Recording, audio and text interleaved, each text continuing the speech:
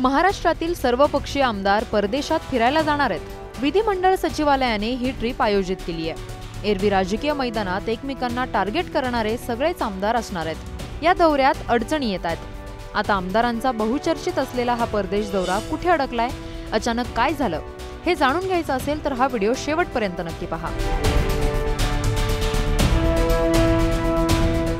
राज्यात अनेक मुद्दे गाजत आहेत. राज्यातील शेतकऱ्यांचे अनेक प्रश्न आहेत. कांद्यांवरून शेतकरी सरकारविरोधात आक्रमक झाले असून रस्त्यावर उतरलेत. हे सगळं सुरू असताना राज्यातील आमदारांचा एकत्र अभ्यास दौरा विधिमंडळ सचिवालयाने आयोजित केलाय. मात्र या दौऱ्यासाठी लागणारं पुरेसं संख्याबळ नसल्यानं अधिकाऱ्यांसमोर प्रश्न उभा टाकलाय. पुरेशा संख्याबळासोबतच या परदेशवारीसाठी अजूनही केंद्र सरकारच्या परराष्ट्र खात्याकडून परवानगी मिळालेली नाहीये. यामुळे हा दौरा सध्या अधांतरीच आहे.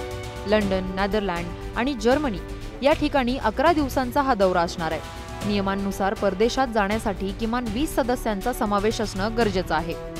मात्र या दौऱ्यासाठी देण्यात आलेल्या नावांपैकी अनेक आमदारांनी त्यांची नावं मागे घेतली आहेत. याचं कारण म्हणजे या दौऱ्याला जाण्यासाठी अनेक आमदारांनी आपल्यासोबत त्यांच्या कुटुंबातील व्यक्तीला सोबत घेण्याची परवानगी मागितली.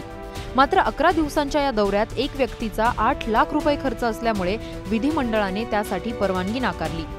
जर कोणाला आपल्यासोबत परिवारातील व्यक्ती न्यायचा असेल तर त्याचा खर्च स्वतः करावा लागेल असं विधिमंडळ सचिवालयाने सांगितलं. यामुळे अनेक सदस्यांनी आपली नावं मागे घेतल्याचं समजतंय.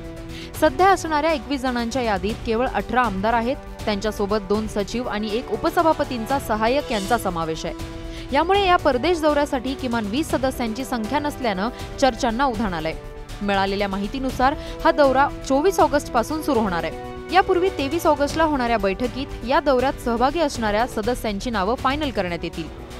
विधिमंडळ सचिवालयाने आयोजित केलेल्या आमदारांच्या परदेश दौऱ्याबद्दल तुम्हाला काय वाटतं हे आम्हाला कमेंट करून नक्की सांगा.